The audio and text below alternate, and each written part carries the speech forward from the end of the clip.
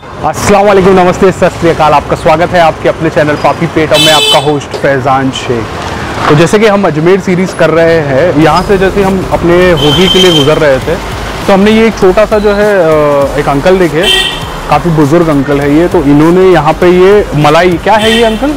कलाकंद है आम का और प्लेन। अच्छा कलाकन जो है यहाँ पे ये बेचते हैं जैसे कि मलाई का कलाकन है और एक प्ले मैंगो है और एक प्लेन है। मैंगो और प्लेन कलाकन है। तो चलिए इनसे बात करते हैं कब से ये यहाँ पे बैठते हैं। ये कितने किलो का है ये चाचा जो आप लेके इसे घूमते हो? तो ये आप इसे लेके घूमते हो या यहीं बैठते हो आप? नहीं घूमता था। अभी ये सड़क का काम चल रहा है ना वो उस इसलिए नहीं तो बाज़ार का राउंड लगा के फिर बैठता था मैं। अच्छा। तो ये आप आपका नाम क्या है अंकल? मेरा नाम रमेश शर्मा। रमेश शर्मा। तो कितने साल के हो सर आप? मैं सितर का। अच्छा सत्तर साल के हो तो काफ़ी अच्छा लगा आपको ये देख के कि आप सत्तर साल की उम्र में भी मेहनत कर रहे हो बेच रहे हो तो ये आप इसे उठा के घूमते भी हो मतलब आप? बनाता भी हूँ और अच्छा आप बनाते भी हो ये घर पे बनाते हो आप? नहीं ऊपर दुकान है छोटी दुकान ले रखी है एक अच्छा। वहाँ बनाता हूँ। वहाँ पे बनाते हो। तो कैसा रुपए मतलब ये किलो या दिन भर में बिक जाता है पूरा ये? हाँ ये चार सौ रुपये किलो है प्लेन वाला वो चार सौ साठ रुपये किलो है। अच्छा वो ये चार सौ रुपये प्लेन वाला है मैंगो वाला चार सौ साठ रुपये है। और डेली जो है आप ये नया फ्रेश बनाते हो मतलब हाँ, ये पूरा बिक जाता है। तो देख सकते हो आप ये डेली नया बनाते हैं और ये पूरा लेके ये घूमते भी है इस एरिए में लोकेलिटी में। तो ये कितने किलो का है? आप इसे सर पे लेके बैठ जाते हो? कैसा उसे लेके घूमते हो? अच्छा कंधे पे लेके घूमते हो। तो देख सकते हो, काफ़ी इंस्पिरेशनल बात है ये कि अंकल जो है, इसे कंधे पे लेके ये एरिया में पूरा घूमते हैं, इसे पूरा बेचते हैं। और फिर ये जाता कितने साल से आप यहाँ पे ये काम कर रहे हो? ये हमारे पिताजी करते थे जब से मैं भी उनके साथ में था। ये कम से कम थाल होगा सौ साल से ऊपर। अच्छा ये थाल ही सौ साल पुराना है अगर आप देख सकते हो ये थाल जो है इनका पित्तल का बना हुआ है और सौ साल पुराना है तो काफ़ी वज़न भी होगा ना ये अंकल? वज़न है ना? काफ़ी वज़न है। तो चलिए अंकल से थोड़ा सा हम दोनों चीज़ टेस्ट करते हैं और आपको बताते हैं इसका टेस्ट कैसा है। तो अंकल थोड़ा थोड़ा सा दूध और शक्कर है ओनली इसमें दूध मैंगो शक्कर और इलायची। मैंगो का अगर सीज़न नहीं होता तो फिर कैसा डालते हो? फिर हो नहीं बनाते हैं। सीज़न अच्छा सीज़न में ही बनता है। खाली। अगर सीज़न नहीं रहेगा तो सीज़न में तो फिर सर्दी के अंदर जैसे ऑरेंज का संतरे का अच्छा। गाजर का हलवा मूंग की दाल के लड्डू क्या? और कचौरी भी बनाता हूँ कचौरी बड़ा बड़ा भी बनाता हूँ साथ में रखता हूँ।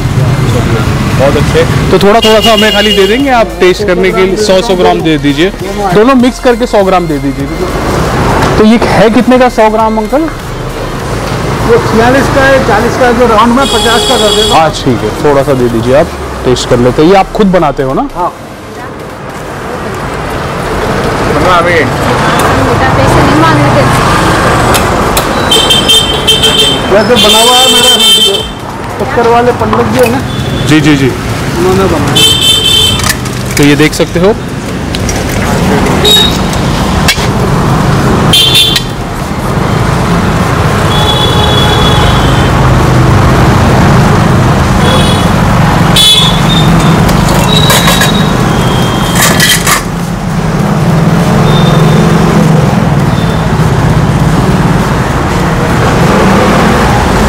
नहीं बस।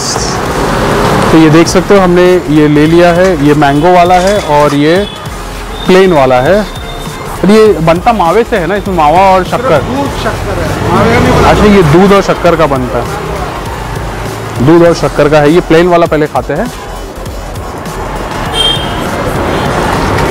काफ़ी रिच बहुत ही अच्छा सा एक बहुत हैवी सा जो है इसका दूध का और शक्कर का फ्लेवर इसमें है। तो ये मैंगो वाला खाते हैं।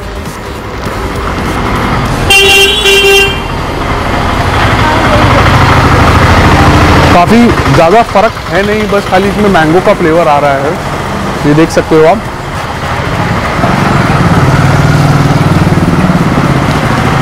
बाकी काफ़ी जो है मीठा, बहुत ज़्यादा मीठा है ये। तो अगर स्वीट लवर अगर आप हो तो ज़रूर आप यहाँ आके ये ट्राई कर सकते हो। अंकल से इसका इन कहाँ बैठते हैं उनका एड्रेस पूछ लेते हैं।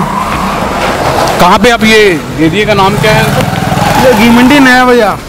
घी मंडी नया बाज़ार। मंडी नया। मंडी नया बाज़ार। और टाइमिंग क्या है आपका?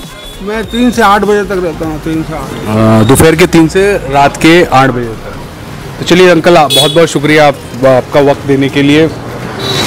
तो चलिए इसी के साथ जो है वीडियो को एंड करते हैं। उम्मीद करते हैं आपको वीडियो अच्छा लगा होगा।